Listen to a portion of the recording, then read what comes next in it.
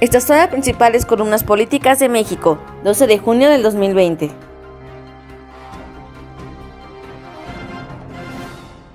Trascendió que en el Instituto para devolver al pueblo lo robado está todo listo para la despedida de Ricardo Rodríguez, pues hoy es su último día al frente. Su equipo asegura que se va con el reconocimiento del presidente por obtener más de 1.500 millones de pesos en subastas, quitarle al sindicato ferrocarrilero 40 millones de pesos de cuotas de extrabajadores y otros pagos.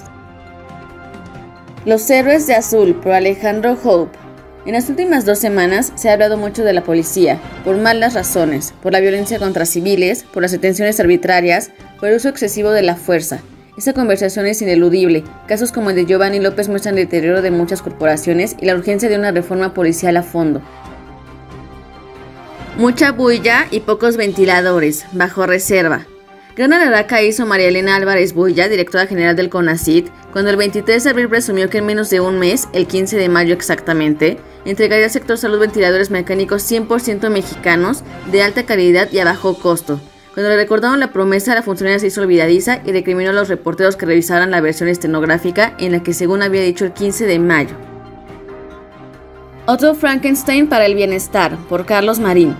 La iniciativa de fusionar las comisiones federales de competencia económica y reguladora de energía con el Instituto Federal de Telecomunicaciones equivale a pretender que se satisfaga el apetito, en este caso de ahorro, batiendo una comida tan típica como la de cualquier fondo en un mercado popular, sopa de codito, arroz con o sin plátanos fritos o huevo, guisado, frijoles, tortillas, agua de jamaica o tamarindo y al gusto el postre de gelatina o flan. Toda la licuadora ahí, buen provecho.